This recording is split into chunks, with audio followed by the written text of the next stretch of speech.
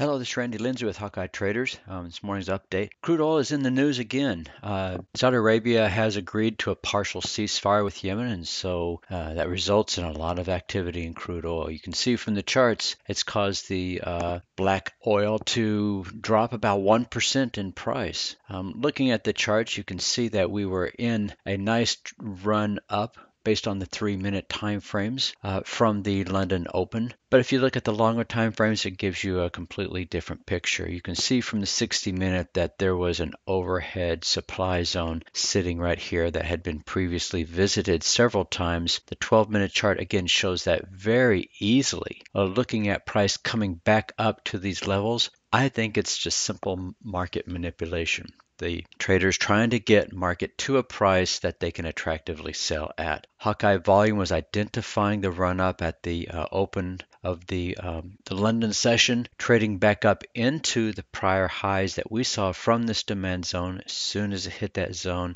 Again, volume was showing that this level could not be supported as sellers were coming in and price was very responsive to selling. On the 12 minute, you can see one, two, three very obvious indications that this market was not going to stay at this level.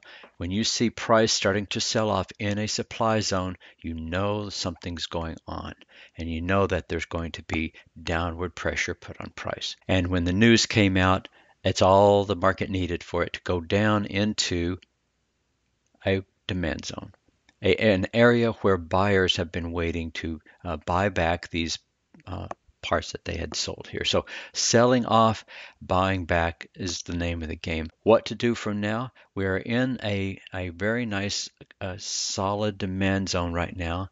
Uh, the range is about 55.91. Let me see exactly what that is.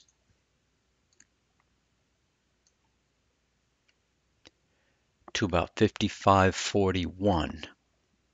So that's the range. If we see a break back above 55.91. It's a simple retracement. This is a wide bar.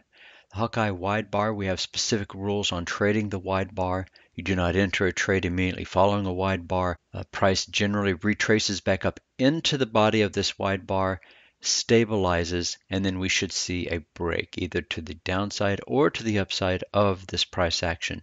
To the downsides in reaction to the current trend. And so that would be uh, a trade entry opportunity. So we're looking at a break of 55.41 to the downside. If you get a break of that wide bar, chances are good we might stabilize and stop before we break 55.41. If we break 55.41, then 54.78 would be the next downside.